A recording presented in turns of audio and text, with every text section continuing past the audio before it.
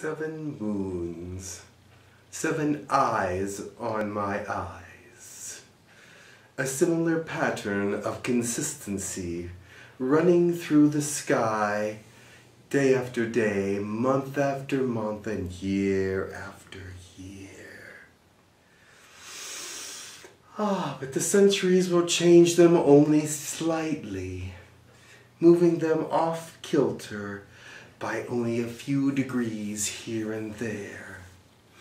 But my eyes fix on them, and it feels like we're reunited with thoughts, because I wonder how their patterns remain so much alike so often.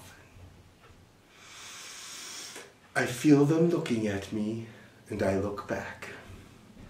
Eyes on eyes this means that we look into each other and know little about each other until we can be with each other. But I know your patterns.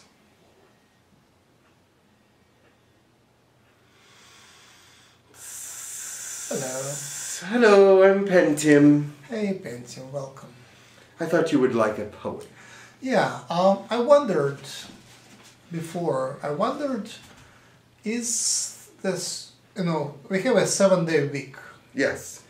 and nothing else on earth has a seven day period. It seems very artificial. Did it come from aliens?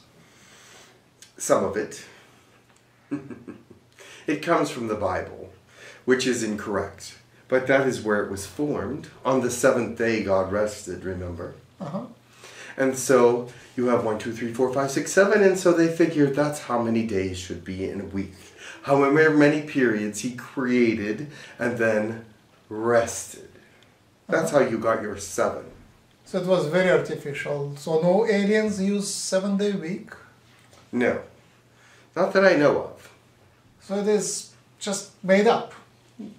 It is made up by those people who created your Bible. Was it humans?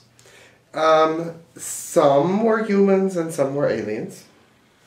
So nobody really knows who created the seven day week.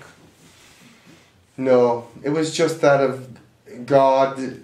They said the gods did, so. Uh, did did God do that? It, it is possible that he was talking about seven periods of great amounts of time, which is only logical. Uh huh. So, yes, he probably did give them the idea, but he didn't name them as days. I don't believe. So it's, Not originally. it came from poor translation, basically. Yes, basically. And now we have seven day week, which doesn't make any sense. What would be the optimal week for humans? Would you would you think it would be like ten days or five? For an optimal use, it depends on the human. Oh, so different humans would have different lengths of the week? Yes, some people have great stamina, others do not. Yeah, I need like two day week. A two day week would be very, very rough for you. Ah. I see. Do aliens have weeks, some sort of a week? We have periods of times that we designate as certain things, yes. But to synchronize the whole civilization into some sort of resting day. Yes. The now is has a name, yes. Now, The now that we live in has a name, and it is a day. Perhaps you could call it a day. Perhaps you could call it a time expression or period. Um, but we do not really look at it the same way as you do. We don't fit our lives into it. Uh, our week is like a breath of the whole civilization. Mhm. Sunday across the globe is Sunday. Yes. And many days take the day off on Sunday. Many, Yes. many people. So does, a Pleiadian Iran civilization have a day off, periodic day off? They create their own day off whenever it is needed. But it's not synchronized and not every certain No. number of days. Because sometimes you work very hard for four days, or five days, or seven days, or ten days, Uh-huh. and then the, that following day you realize it is a time for a rest. So it is. The body tells you. So it's unique for Earth to have synchronized the whole civilization into a certain time period, like seven days. There are some lesser advanced civilizations that do similar things, yes, because they needed the structure. Do we know any of them? No. Yes, a couple of the rept- earlier reptilian races, and there's a race of um, humanoids uh, that call themselves pleths, Uh-huh. and they have a similar kind of, but their weeks are eight days long, Ah, so. But nothing like.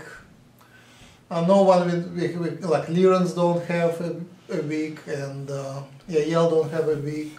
They have a they have a rotation calendar of how the sun rotates, Yes. but they do not formulate it into specific times placements like they're going to be here and there. They go where they need to go when they need to go there. Right.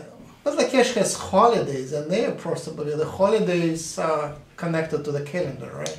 No, No. they're connected to uh, different celebrations. Uh, the celebration itself is perhaps a birthday might be considered or an anniversary, but Ah. many of their graduations are not based on calendars. It's whenever you graduate, you graduate. Uh huh.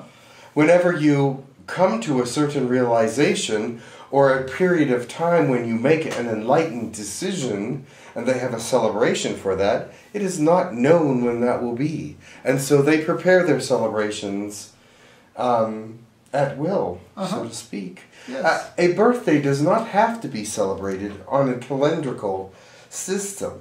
Uh huh. But when you reach that one year, within several days of that one year, you can have the celebration any of those days. Uh huh. In fact, some days on your birthday you don't feel well, Yes. or you feel like you need to study or do something else. So that would not be a day for your celebration. Exactly. So they do not specifically keep that day as your celebration day, but you get to choose what day you would like. And if you're not feeling well that day, you can push it off to a different day. You know, discuss. I'm kind of stepping on a new ground, and I would like to have someone to discuss that because until It's now just it their was. planet out this doorway. Second. It's your planet, nature. Yes.